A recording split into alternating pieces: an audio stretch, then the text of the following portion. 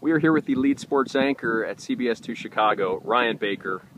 Well, um, not the easiest round in the world, but No. tell us about that finish because that was pretty awesome. I tell you what, when you can uh, roll in, what'd you say that was about a 40 footer? Minimum, minimum. Minimum? I'm Sure. going to call it 50. 50 footer. A 50 footer uh, with the uh, Barney Rubble bounce into the hole.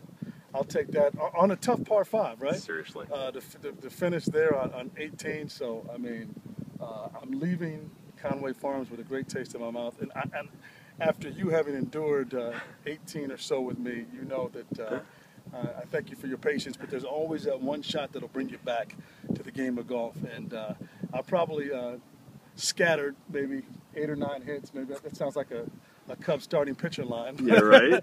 but uh, you know what?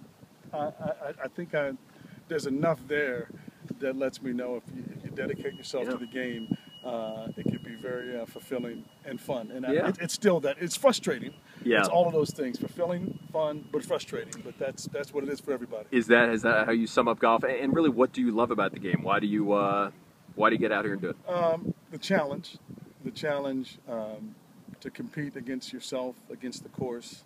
Uh, you know, it's uh, you know certainly my age. I mean, you know, I, I get paid to talk about sports, not not to play sports at this Yep. point. But this is a situation where uh, to, to try to test yourself and push yourself. And I think golf for me uh, really symbolizes what life should be like. Yep. And it's it's a great test and exercise for me to be more patient, Yep. to slow down, Yep.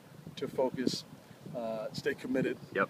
uh, all of those to persevere, Yep. and all of those things that I try to apply to my personal life, Yep. And not always successfully. But you come out here for 18 uh, and, and try to do that, and it, it certainly it, it, it's a very good life lesson out here. And I mean, this beats a bad day at uh, the CBS Two Broadcast Center. Sorry, yeah, guys. even walking on a 95 and humid day with, Yeah. with some bugs flying around us.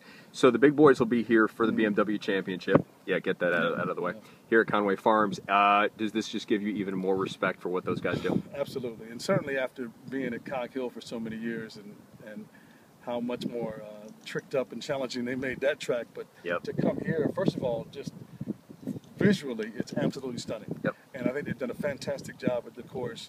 Um, you know, I, I don't envy those guys at all what they're going to have to do for four days. Yep. You know, after just struggling through one day here, walking around on this course in this heat, I can't imagine it's going to be any cooler. Uh, maybe a little bit early September, but you never know. There's, there have been some 90 degree days right around Labor Day and after, so uh, it's certainly going to be a test of wills for uh, the pros when they come in here for the BMW. What do you say? forward to it. What do you say we get inside right about now? Uh, the 19th hole sounds really nice right now. Ryan, thank you so much.